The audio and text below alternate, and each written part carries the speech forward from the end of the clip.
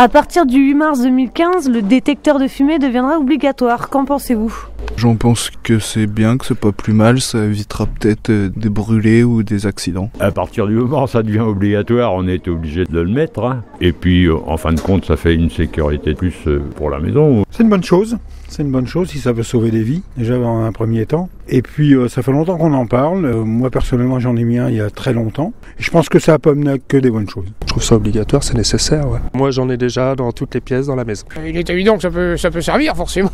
Nous, on attend qu'ils nous l'installent, ça n'a pas, encore été- encore fait. Il faut pour que ça se mette en route pour un oui, pour un non. Le, problème, est là. Alors maintenant, euh, ça, c'est quand même le genre de, on va pas dire de gadget, mais d'engin qui peut servir. C'est pas du superflu.